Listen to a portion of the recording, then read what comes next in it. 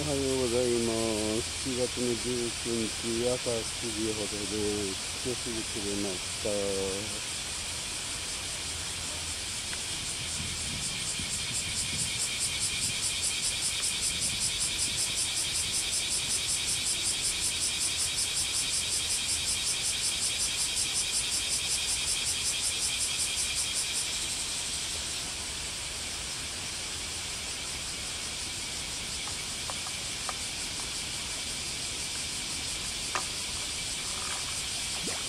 おはようございます。みんなが帰った後に入りまして、11時に来ました。さあ、上がるかバレるか、今から勝負です。先ほどの鯉を、魚は走られて、えー川の底の線にかかり逃げられました。切れてしまいました。うんもう一匹来ました。今回は濃いです。先ほどのは手にかかって見えました。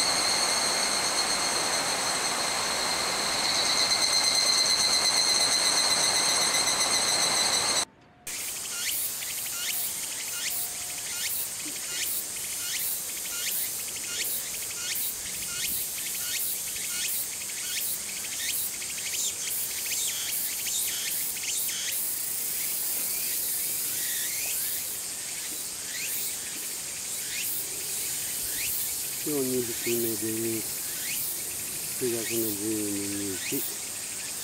えー7時ぐらいかと思います。2匹目が釣れました。2匹目です。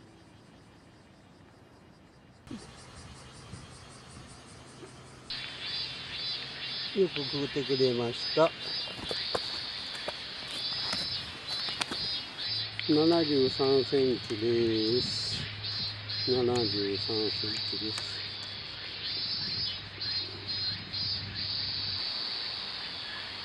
おはようございます。7月の12日朝です。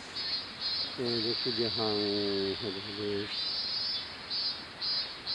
あまり大きくないんですけど、鯉が釣れました。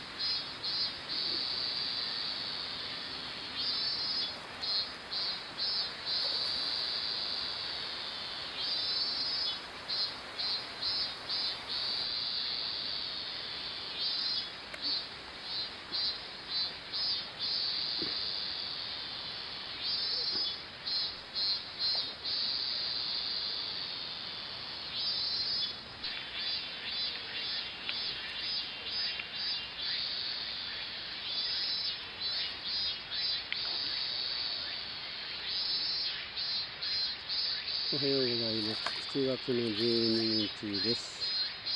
朝6時半ほどです。